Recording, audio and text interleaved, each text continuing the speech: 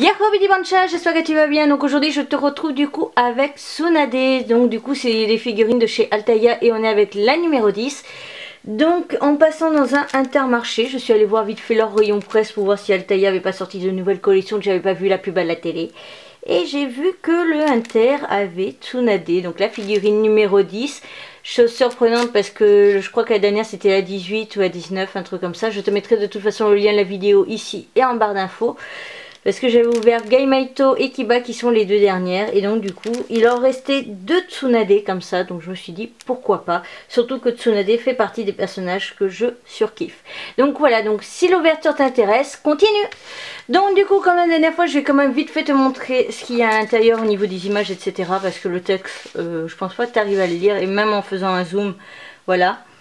Euh, donc du coup de ce côté on a toutes les informations service client machin comment obtenir les prochaines figurines etc là on a les informations sur la princesse Tsunade. Donc voilà le personnage en soi etc les personnages importants qui ont une relation avec elle donc comme Dan Kato et euh, Chizune que j'adore. Elle me fait vraiment très rire Chizune surtout quand elle a le petit cochon dans les mains tonton.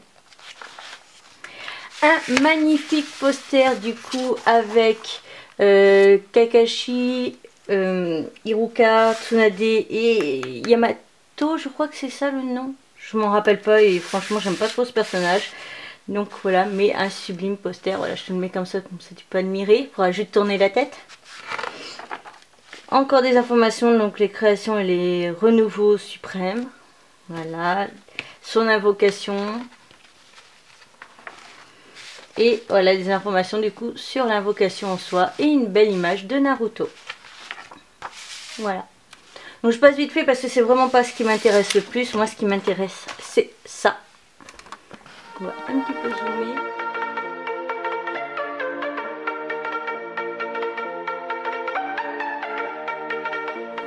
Donc voici Tsunade, donc c'est normal que j'ai mis comme ça, c'est tout simplement pour que tu puisses voir d'abord l'ensemble. Et donc du coup, voici les détails. Donc ce qui est surprenant, mais dans le sens positif, c'est que la veste reste euh, une partie en fait molle.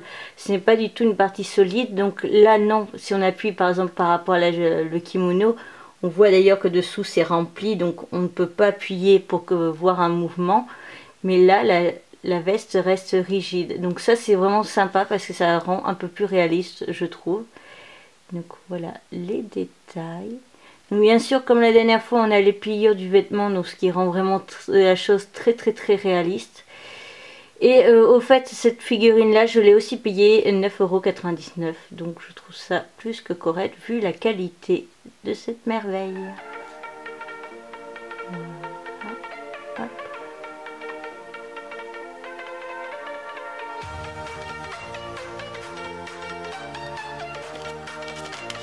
Donc du coup on a toujours le fameux socle avec les informations. Hop, on va essayer de faire quelque chose de propre. Voilà.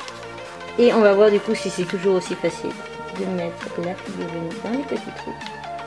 Il faut trouver le bon sens, c'est ça surtout. Tac, tac. C'est pas le bon côté. Ok. Et voilà. La vidéo de la figurine de Tsunade de chez Altaïa est à présent terminée. J'espère de tout mon cœur qu'elle t'aura plu. Si c'est le cas, n'hésite pas à mettre un petit pouce en l'air. N'hésite pas à mettre un commentaire histoire de me dire ce que tu penses de Tsunade et quel est ton personnage préféré du coup dans mes trois figurines, c'est-à-dire Tsunade, Gaimaito et Kiba.